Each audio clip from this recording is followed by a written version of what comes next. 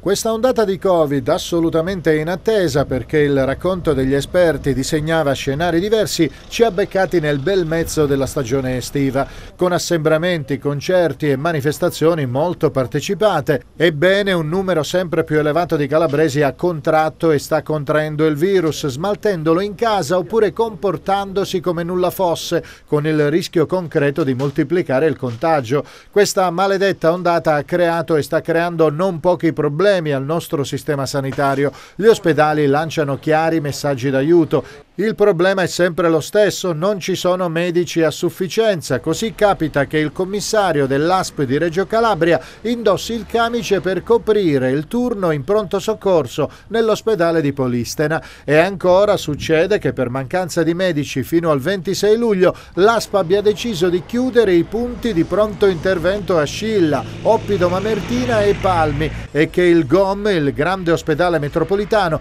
così come già fatto dall'annunziata di Cosenza, vieti l'ingresso ai parenti per i troppi casi e il poco personale a disposizione.